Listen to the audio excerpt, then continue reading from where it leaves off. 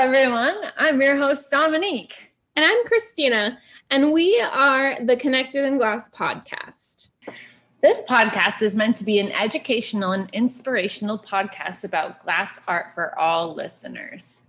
A love of glass art connects people of all walks of life and in all generations. Let us celebrate this by getting to know each other. Each interview will have three sections getting to know this week's artist, diving into more detail about their particular form of glasswork, and going into the deep stuff that isn't usually openly discussed. These are meant to be real life coffee table discussions about hopes, dreams, and aspirations. We hope that with every episode, you'll be left with a sense of connection, a new perspective, and maybe a boost of creative mojo to tackle your next aspiration. Today, for our very first episode, we're going to be talking to our friend Ann Conlin. Ann is a real estate agent in Massachusetts, but she also has over 50 years of glass experience. So we're really excited to share her story with you all today.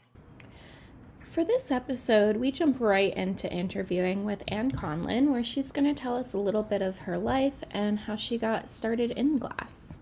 I live in Massachusetts. I live in Tewksbury. It's about 25 miles northwest of Boston, um, close to the New Hampshire line. Um, I am in a relationship with my husband. How about a 40 year relationship? It's been 40 years this year. Um, and um, we don't have any kids.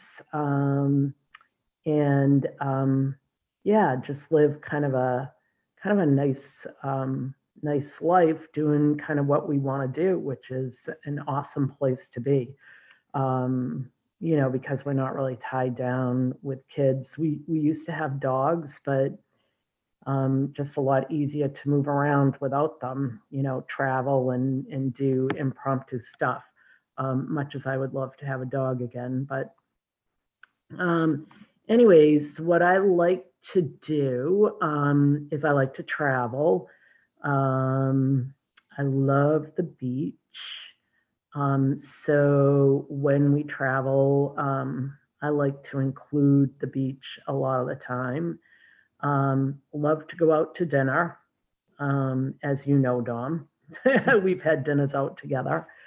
what else do I like to do? I like to paint. Um, haven't been painting much lately, but when um, when I do paint, it's usually watercolors, um, which um, kind of I think in a way um, has some mixture with glass, just because of the transparency and luminosity of the paint. Um, yeah, so oh um, what I do to make a living, um, although my husband would really like me to be retired and just um, spend my time doing the things that I really like to do, but I kind of like what I do for a living too.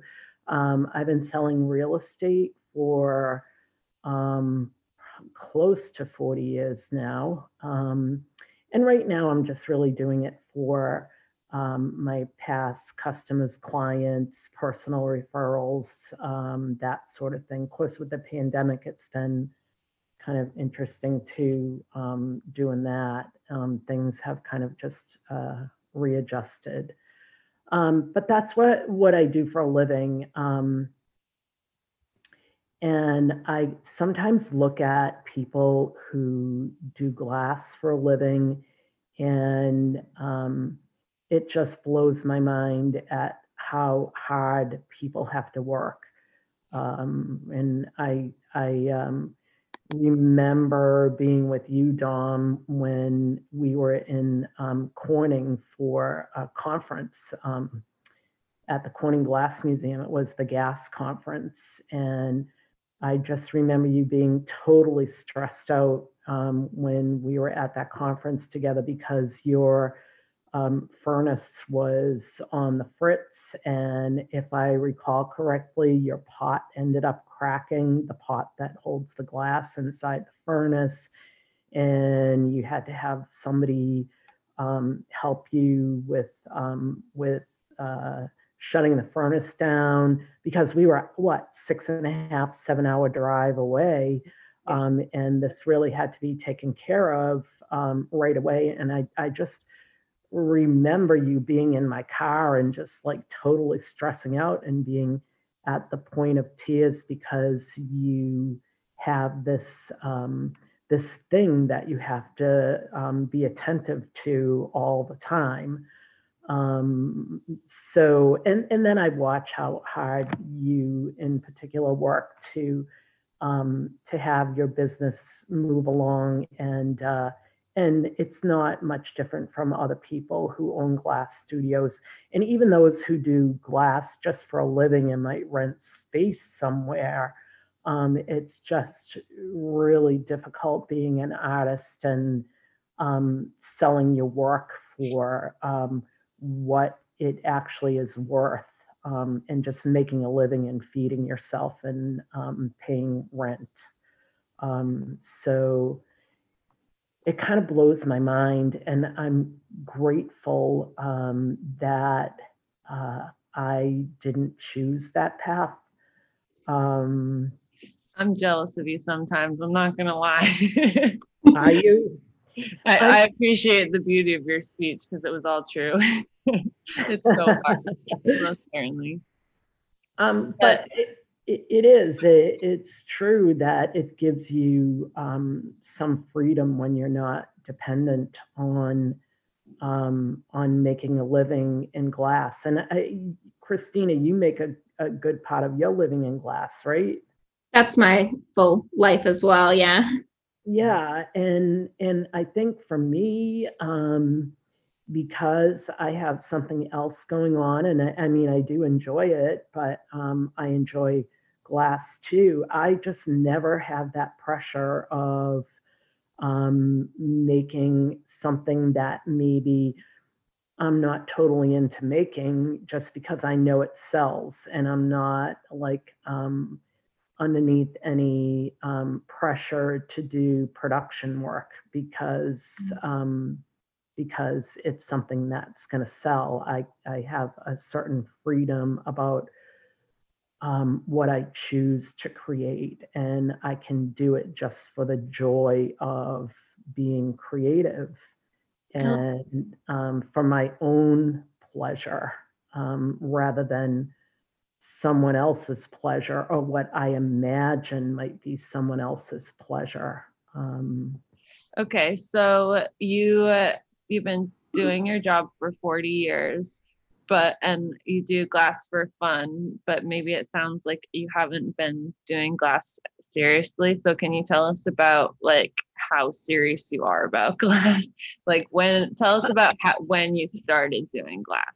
Um, okay, so yeah, so I, I think that you already know, Dom, that um, it's not the case that I'm not serious about doing glass. I'm very serious about doing glass. You know that, right?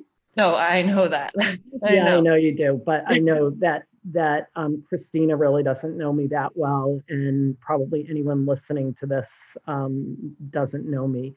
Um, so when I was a kid, we used to go to the beach, right? So I'm back to the beach um, and we used to go up to Hampton, and there was a guy who did um, torch work. I'm imagining boro, um, now uh, borosilicate glass um, on a torch, and he would like do this um, stitched work to make like little figurines and wishing wells and birds and things. And I, I was always fascinated, and I would stand at the window in his shop and just watch him for hours on end. Um, and so when I was 16, um, my father went to a historical society meeting in the town where I grew up here in Massachusetts. And he came home that night and he said, You would really like this. Um, apparently, there was a guy there who was a glass blower. And I, I have um, found out a little bit about his history, but he was from a, a line of uh, bohemian um, glass blowers they were it's it was an itinerant family who went from place to place um, uh, blowing glass and he made hollow forms in soft glass uh, so it was all torch work crossfire torches um, and I ended up taking lessons from him when I was 16 years old. Um, and um, you know, I was a kid, so uh, so you know, I kind of had the interest of of a kid. I wanted to do it my way and not his way. um, but then, um, so I always liked art, um, and I ended up um, going to Mass College of Art. Um, and they didn't have any glass there at the time, and I uh, picked a major in fibers. But um, uh, they ended up building a glass furnace while I was a student there. So I switched my major over to glass and um, ended up working from the furnace. I went to Pilchuck, which is a glass school out in the Pacific Northwest. Um, and I've since, uh, I, I, somebody said, when did you go there? And I'm like, um, that was in the 70s. Um, so it was actually, uh, I found my acceptance letter to Pilchuck. So I was there in 1973 um, and um, blew glass there. Um, but it's kind of interesting, like in the in the era that it was, um, women in the glass studio um, were not really accepted. so it was kind of a um, a difficult thing to uh, to move through, um, being a female who wanted to blow glass. And then um, once I got out of school, um, there was really no place around to blow glass. Like now, you can find glass studios all over the place. Like I, I can probably name um, a good half dozen within an hour or so of where I live.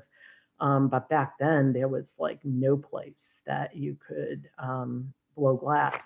So I ended up um, I ended up getting a job um, as a scientific glass blower, um, which is kind of interesting. I I was making what they call um, graded seals. It was just um, joining soft glass to really really hard glass. It was quartz crystal actually, and you know you have to go through um, like different um, different grades of glass, like from um, soft to a little bit harder to a little bit harder to a little bit harder, and finally to the quartz. So I did that for a while. Um, then I did an apprenticeship in a stained glass studio for um, a couple of years and um, ended up doing the, the artist I worked under um, did a lot of commission work. Um, we did some contract work for Lynn Hovey Studios um, in Cambridge, but she did a lot of like private commission work.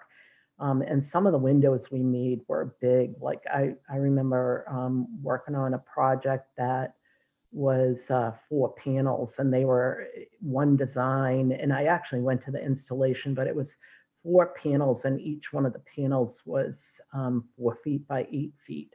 So they were um, very, very large panels that got installed in the chapel at the Waltham uh, Hospital. Um, so, um, so anyways, then I, I just kind of went off, started selling real estate, ended up getting married, um, didn't do too much artwork um, until I started painting again. I mean, I, I always painted from the time I was a kid um, and through college, um, but kind of gave it up for a while. I don't know why I had that like hiatus, but I just remember like picking up a paintbrush for the first time after um, probably um, 10, 12 years or so and feeling paralyzed. Um, but um, but then you know I I just found my center, I guess, again and started painting in earnest um, and did that for um, for a while until um, until I took a class. It was actually a fusing class, and I don't know what made me take it, but it was at Worcester Center for Crafts, and um, and somebody dragged out a torch, and I was like, wow. And um, they started making beads, and I was like, wow, I could do that. Um, so that night, I actually hopped on the torch, and um, so then I just started making beads, and one thing led to the next, and then all of a sudden I was standing at a furnace again. Um, although I, you know, I do still really, I think, identify as a flame worker. I'm really a torch girl more than um, more than a furnace person. Although I I love going into um, the hot shop. And okay, so this is perfect segue into the next question. So, like, describe your style of work.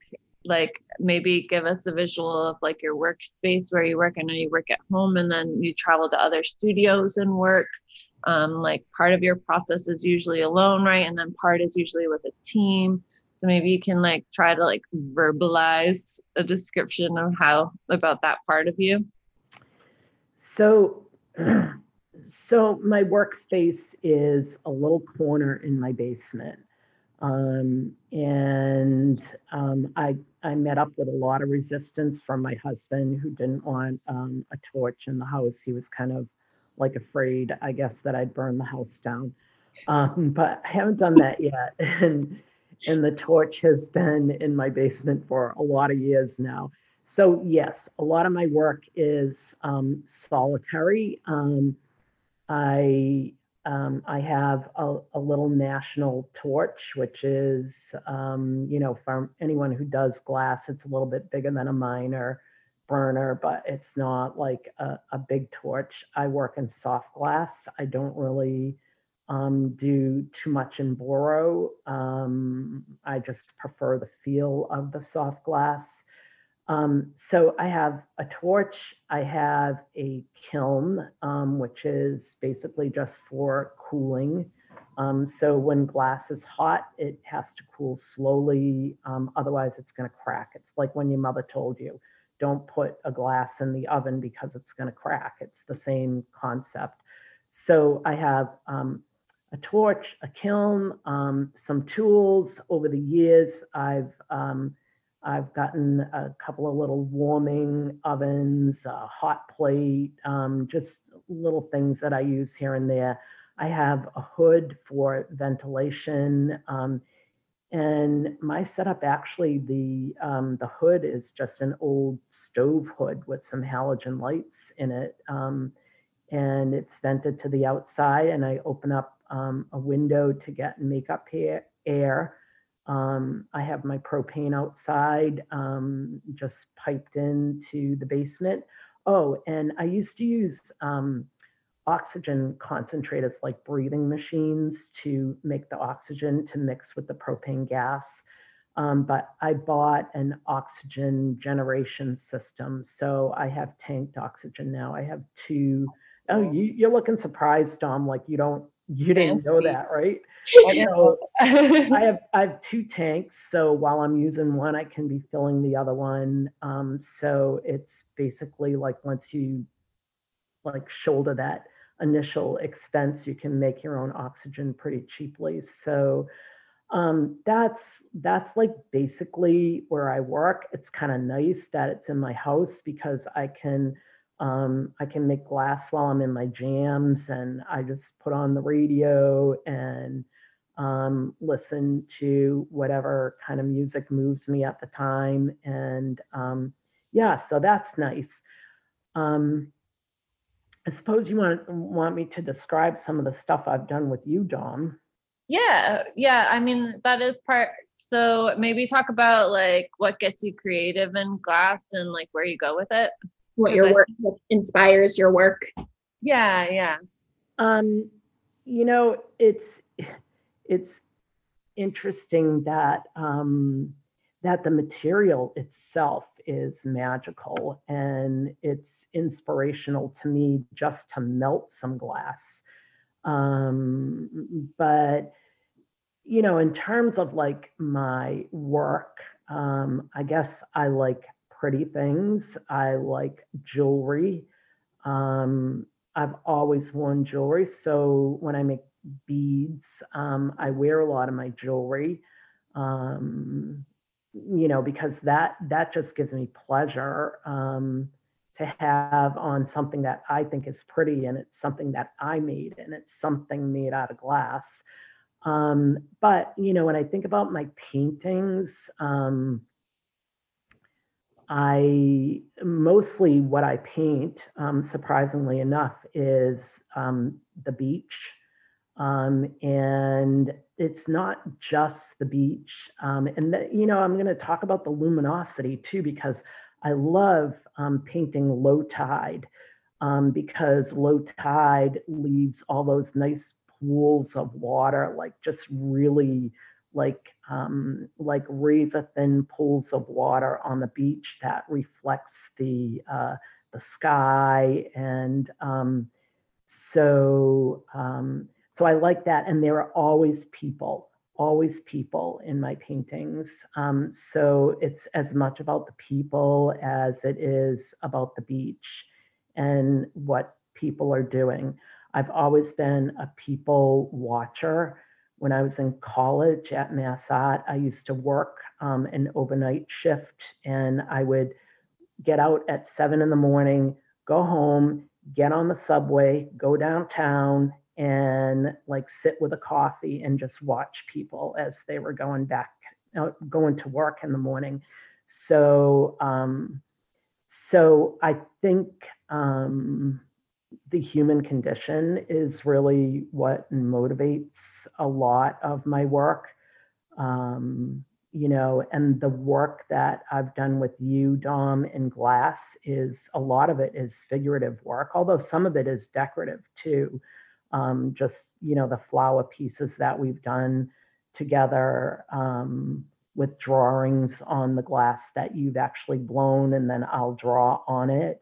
Um, so that's like the the pretty stuff that I like. But um, what really moves me is people um, and how people um, respond to one another and the things that they do with one another. So usually like if I'm painting, I'm not just painting one person.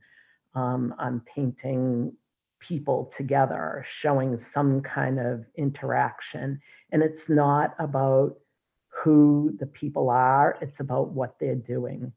Um, which I suppose kind of like ties into who they are, but um, but it's more about like what what they're doing and how they're interacting together um, that kind of is um, very inspiring to me.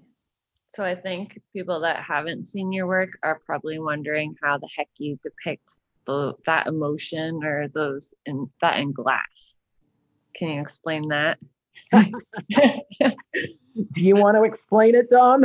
well, I'm look everything that's coming out of your mouth is beautiful. So just keep talking. oh, you know what? Yeah, we haven't talked in so long, and it's so uh, it's just nice to um, be on this call with you. Um, you know, for you to say that to me. Um, so, like, how? Okay, so how I do this. And and it it really was when I first met you that I started to do this literally um, that first week. Um, we took a class. I didn't know Dom, and uh, I, how many years separate our age, Dom? Well, ooh, Ten. no, don't worry, we have an editor. Beep. it's a lot of years that um, separate us. And we were at um, Snow Farm, which is like a craft camp for adults up, up in the Berkshires. And I don't know how they they figured this. It was an improbable pairing, but um, we were roommates. Um, and I, you were in your 20s, I think. Um, pro- yeah, you had to be in your 20s, right? Because I've known you for about eight years. Um, and I was in my, mm, I'm not going to say. a few years older. I'm old enough to be your mother. Um, so, um, so they put us together, and I, I, we just kind of clicked. And I had no idea what this class was about, but it was um, taking um, flame worked objects like things that you make in the torch and combining them with furnace glass. So I think it was the second day at the class of the class, it kind of hit me like, um, oh, this is what this class is about. So I, I started to do a couple of drawings of just like faces, like almost like little cartoony faces with expressions on them, and um, and put like two um, people together and like kind of exaggerated expressions as to how they were looking at one another and just a gestural kind of stick drawing of that person. But so what I was talking about with um, painting, it's it's about what they're doing, not necessarily who they are. Um, and that's what these pieces are like because the um, the people themselves in in the um, drawings were um, just stick drawings, but very gestural um, stick drawings. So you knew exactly what they were doing. And um, kind of that with the uh, combined with the expressions on their faces um, kind of told a complete story in one little snapshot. Um, so yeah, they're kind of um, very uh, cute um, little faces. A lot of them surround um, um, love themes. Um, and um, yeah, I put a lot of hats on them. And uh, then I did that piece for you, Dom, when you opened up your new shop. Um, we actually made that together, but I came to your studio with all the um, the parts and pieces. God, we had a good time that night too.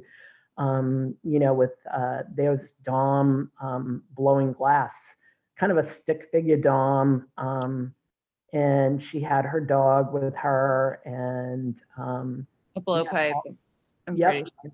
Blowpipe there you were and um, all the hats um, above you because I, I knew how much you loved doing glass and um, and I was very excited for you like moving into your new um, workspace and um, yeah and then we did the the Terrapin um, logo on the back of the piece. So that was a fun piece. When when did we do that piece Dom? 2000 15 was it Yeah, it must have been. 13 i can't remember So just to like further describe it, Ann goes on the torch in her basement and spends hours and hours and hours making what we Literally. would call elements. Like so instead of making a bead, she'd make like a flat face of a character. And for every flat face of a character, she'd have a backup and another backup because the glass likes to crack a lot. So if she's making a scene and she loses one face, then the whole thing's over.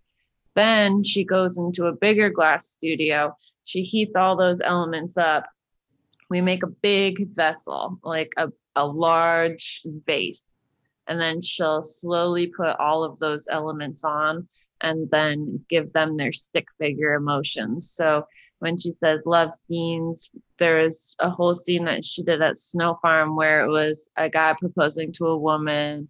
I think the woman was turning away because she was not having it. Right. You want to tell me about that? It was a whole like comic series of different vessels all lined up that told a story. right right yeah that one um i, I think uh it, that he must have done something to really um really push her away um because he was on his knees and he just had this very worried look on his face and he was holding a hat in his hands and she had her arms folded across her chest and her face was looking away from him um, and her eyes were downcast almost like she was um, tapping her foot and um, and saying you know what? Get away from me. And this guy was just heartbroken um, and i had all the, heart was in his hands but i had um, i think three hearts like surrounding his head um, because he was just so um, like forlorn um, and wanted her love so badly, and she wanted nothing to do with him. Um, I'm surprised that you remember that piece, but um, That- it- That was a it- good series. yeah, it was a very that piece in particular was a very emotional piece. Um, yeah. So so yes, um, and that's where the team comes in, Dom, because uh, thank you for um, picking up on that. That I make all these flat little elements to um, to bring into the studio. So they're all cooled um, in my house, and I put them in a little box and bring them into whatever hot shop I'm working in. And it really does take a team to um, assemble one of these pieces. So Dom would um, be on the blowpipe blowing the piece, and I would be there with um, with the torch, kind of um, putting the pieces, uh, the little elements onto the piece. But you also need someone to assist with opening up the kiln and um, keeping some of these pieces warm. So the night we were doing the piece for Terrapin, um, we had um, a bunch of people there at that point, and there were more than um, just the torch that I was holding. There were other torches that were just keeping those elements warm on firebrick. We were taking the, the whole fire brick um, with a bunch of little components out of the kiln and uh, and so there were a lot of people helping with that piece and keeping it warm. So it's it's fun. I mean, the teamwork is fun. Um, working alone in my own shop is like a nice little space to get into in my brain, but it's very exciting to be with other people and to put a complex piece together. So I also think so that whole series of work that you do is really, really cool. But also, can you talk about the work that you do with Gary? Because I think that's really cool too. So Gary is my husband, um, and he is an engineer, and um, and never had any interest in artwork. Um, and then he met me, and so he was interested in me, and he got sucked into the vortex. Um, and um, so I started dragging him around to museums and craft shows, and um, and I think he was interested in a lot of the process. Um, then went to Snow Farm um, with me a few times and took some classes in metals. And um, I was at a, um, a meeting for an organization I belong to. It's called Be Designer International. And there was a woman speaking um, program that night and she teaches chainmail at Metalwerx in Waltham, Mass. And um, she had a book, and I thought my husband might be interested in this chainmail book because a lo- lot of chainmail has to do with mathematics and you know aspect ratios and stuff. So um, so I bought the book and I brought it home for him, and he didn't really think much of it. And then six months later, he picked up the book and he made a little bracelet. And then he made this like crazy um, chainmail collar. And I, he just blew me away. And uh, so he's been making chainmail ever since. I mean, he was making chainmail last night.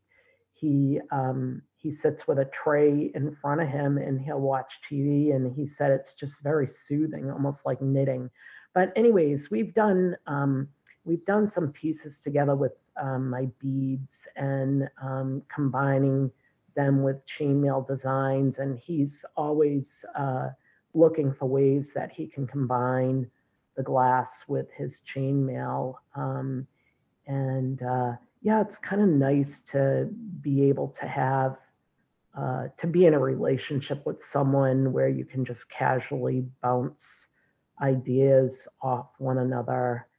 Um, he paints some now too. He does Chinese ink brush, um, and uh, and he is um, really somebody that I trust to ask, "What do you think about this color combination? What do you think about this design?" Even though he's not had a lot of formal art training, I think just um, being around me and um, the people that I like to hang out with and you know work he hears about work that I admire. I think it's taught him a lot. Um, and uh, yeah, so I, I trust a lot of what he says to me about my own work. I think it's special that you can have that relationship together, Mhm. create a body of work together like that. Works for me. The work he does is really cool. We started an Instagram. It doesn't have anything on it, but I'll steal some photos. I also love the fire hydrant piece that you did with George Kennard. yes. She did a, a really large vessel that she designed, and George helped her make it. And it's a vase that looks like a fire hydrant. I, I I'm going to give Dane Jack some um, credit on that too because I think um, Dane uh, Dane helped on that. He um, made the little cup things that go on the side. Yeah. Um, yeah, but that one, complicated. huh? It's a good piece. It's complicated. It's complicated, um, but again, you know, it's it surrounds that whole um, the element of love. Um, because they were actually um, two dogs that were in love with one another. We did a little um, a pink um, French poodle and then a little um, blue boy dog, and um, yeah, puppy love. Um, so, and and again, you know, it's like it's like drawing from the human emotion because those dogs were um, were humanized in that piece honestly you know it wasn't just uh, they weren't animals they were human animals which sometimes on our pets really we humanize them. So yeah that was a fun piece. That was and again it's really exciting working with people. Oh and the other thing that i do want to mention too is like when we're putting these um, these components together these different elements that you know we um, i bring into the hot shop the things that are all pre-made there's always a drawing. And um, it it always starts with a drawing and it's a lot of times is a scale drawing so um, so i'll put things on a grid so i know in my mind like how they're going to fit on the piece and then the drawing is usually on the floor um, and um, whoever is in charge of the blowpipe um, brings the blowpipe over to the bench. The drawing is on the floor, so I can use it for reference as I'm standing over it, um, putting the elements onto the piece. So they're they're always um, very well thought out. Even when I make beads, um, you know, I go through um, phases in like what I want to do, and um, the design is thought out before I start, and each one ends up differently um, because they're um, individually made, they're handmade, but um, but it's never just I sit down and grab a rod of glass and just start. I always know like in my mind like where I'm going with it.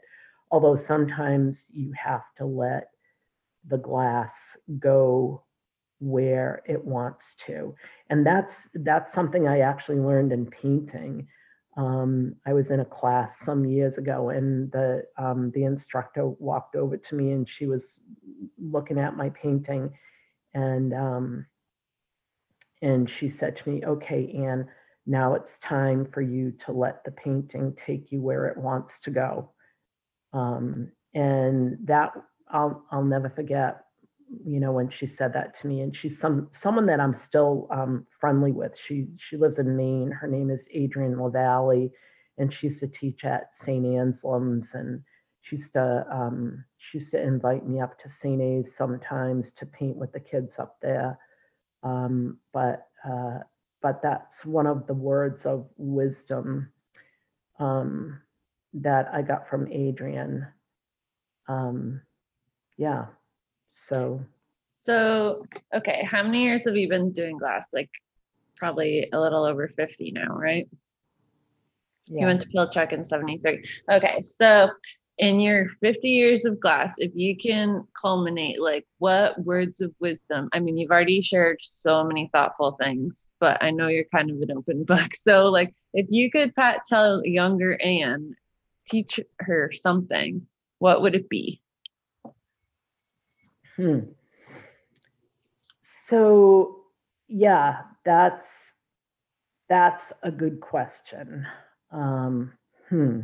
Because there's so many um, great things that came out of the path that I took.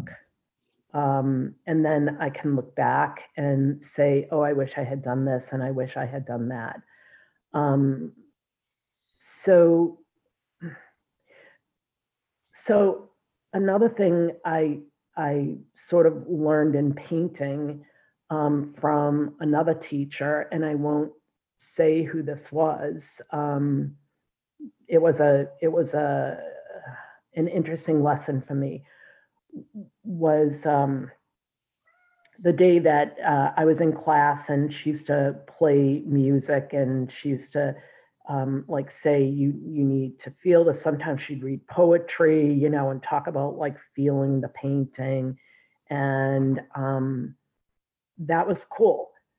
And then, um, like within two minutes, she was talking about how you should never do a green painting because a green painting isn't going to sell. Um, and I thought, well, that's kind of confusing.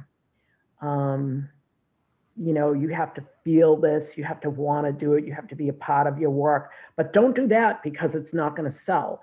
So I, I guess I, I have to um, go back to um, where I was in the beginning of this conversation and just say that I am grateful to have a way to sustain myself um, and to be able to do the work that I want to do rather than the work that I have to do.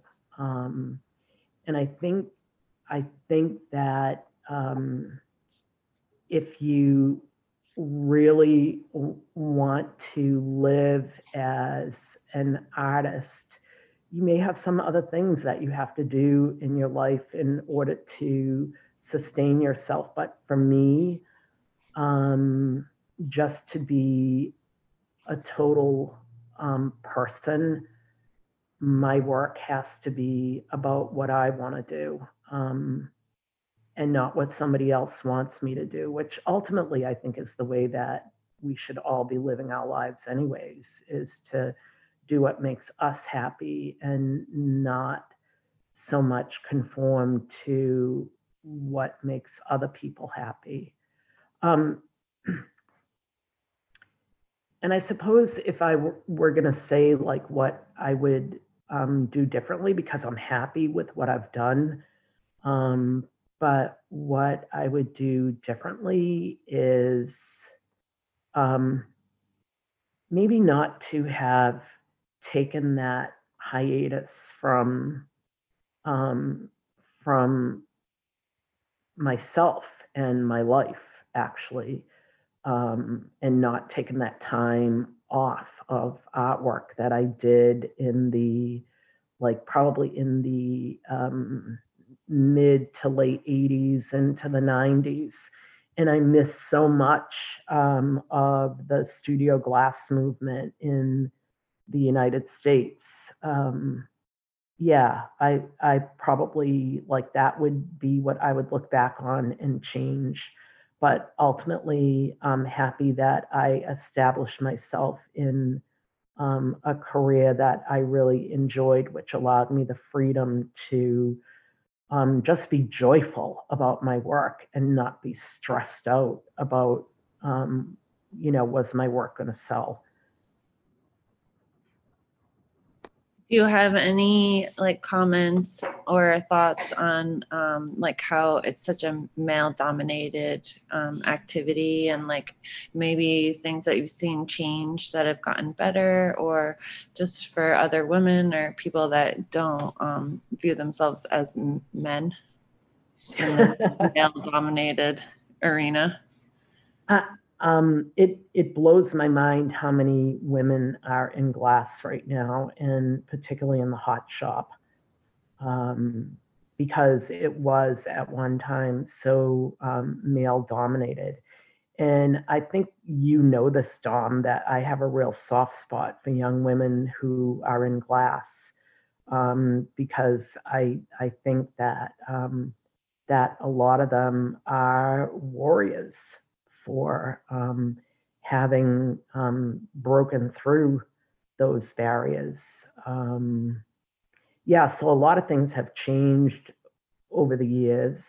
Um, I think, particularly in the United States, I think sometimes when you get out of the US, uh, from what I've seen, it, it, um, is a little bit more male dominated, but um, I think as we become more and more of um, a global community rather than a local community, um, you know, those those barriers continue to be broken.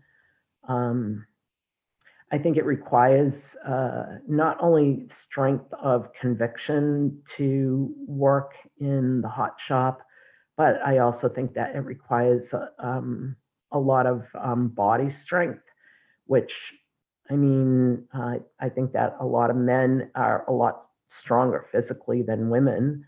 Um, but again, there's where the teamwork comes in, you know, and um, and we all have our we all have our abilities and things that we're stronger at so, um, you know, I see a lot of the men actually picking up and doing um, physical things, and women um, maybe, um, you know, they they have just as much capability to design as the men. So um, teamwork has become um, a, a, major part of working in the hot shop. Um, does that kind of answer like? Yeah. Zena, any questions, comments? Um, my biggest question, I guess, as someone who also I started mostly flame working and then migrated myself into the hot shop. And as someone who's constantly kind of doing both, how do you shift your brain space from I'm working by myself in the corner of my basement to being in a big studio with probably at least a dozen people all helping you work on one piece. Oh god. That's um that's a tough one. Um i mean don't don't you really think christina that a lot of what you do in um in the flame shop is kind of meditative? Oh totally um, yeah, I mean, I I had the um, I had the great fortune of being able to travel to Taiwan um, about four years ago, and I remember being at a uh, at a yoga retreat, like up in the mountains, like far removed from anywhere. And um, there was a lovely woman there. Her name was Tai, and she was so excited that there was uh, someone who spoke English, and she um, spoke broken English, and um, we had tea ceremonies with her. And um, she was a yoga teacher, and I had some videos of glass, and she had never seen glass being made before, never. And um, she was she was dumbfounded at just um, you know videos of me flame working, and she kept on saying to me, "This is yoga. This is yoga." Um, so, you know, it's it's like a real meditative space um, that, like, for me with the music on, and usually the music for me is not um, disruptive. It just like goes into the flow of what I'm doing. Mm-hmm. And then when I would like, um, I'd be working on getting all these little components ready to do a piece with Dom um, we'd have a date set that I would come up to the studio or anywhere that I'm I'm going to do one of these um, pieces where there's going to be um, a, a, group of people and a, team working. You know, I'd get myself like all um, cranked up, and I'd have like all these butterflies in my stomach for like a week before I got there. And, you know, do I have this? Do I have that? Make sure you have the drawing, make sure you have enough components. Um, and I would always be like almost a wreck, you know, when um, when I was up, I'd have to like really um, get myself uh, almost like peel myself off the ceiling to get into the space where I could actually do that. Um, you know, because the the execution of the piece goes so quickly. Like you spend hours and hours getting all those little elements together um, and doing that in that meditative space, and then all of a sudden you're going to make this this piece out of all these little things that you've been working for so many hours on and that whole piece is gonna like take maybe an hour you mm-hmm. know an hour and a half and maybe and this has happened dom maybe the piece falls on the floor and shatters um, and it's all over so um, so yeah that's a, a really um, difficult switch to make I mean, it's not like it's not like just going into the shop and like um, like making a vase or making cups.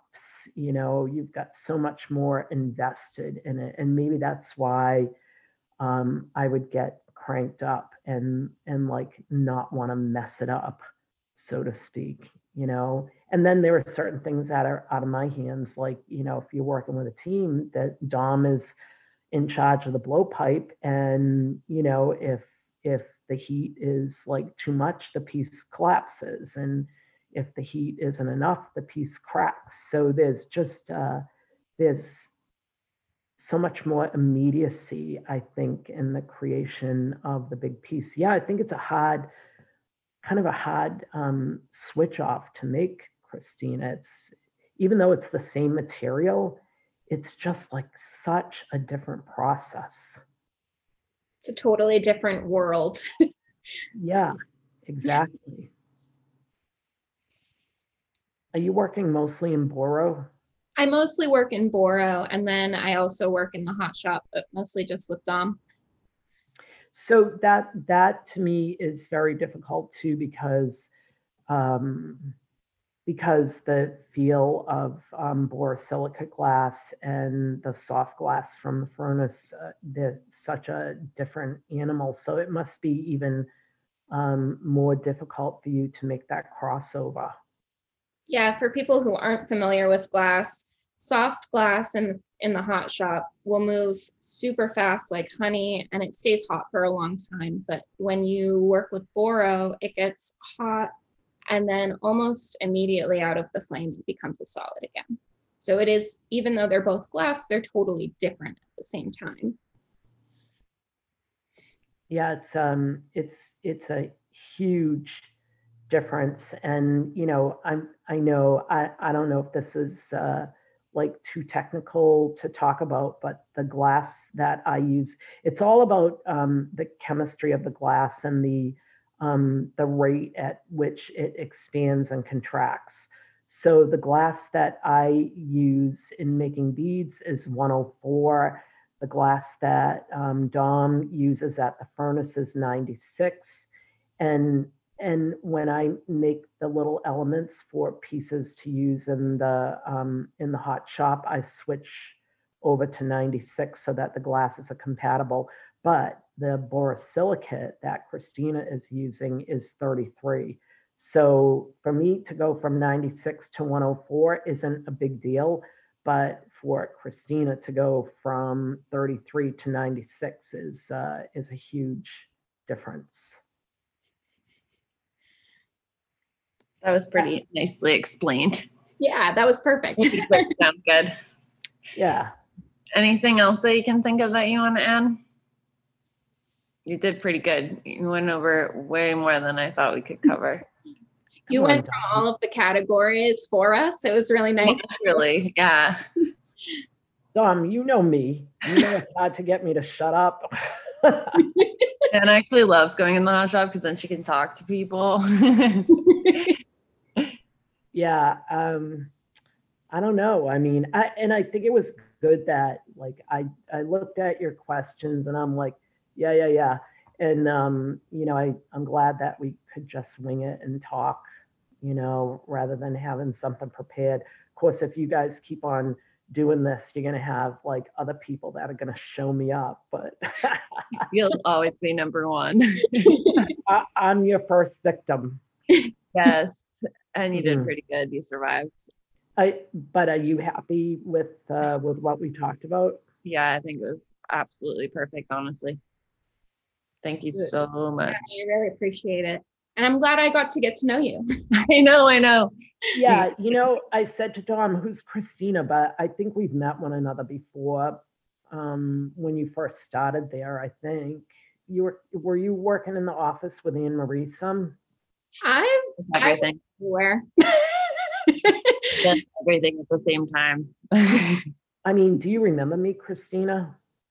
you look familiar to me. Yep. Um, and I've seen your work a million times. A million, like like the few pieces that Dom has up there. I've cleaned them a lot. yeah. Okay, okay. Everybody's gonna smile and I'm gonna take a picture for the end. A picture of the screen. Hold on, hold on. Oh God.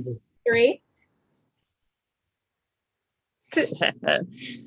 okay. Thanks so much for all your time, man. We really appreciate it. Thank you so much for listening to this week's episode of Connected in Glass.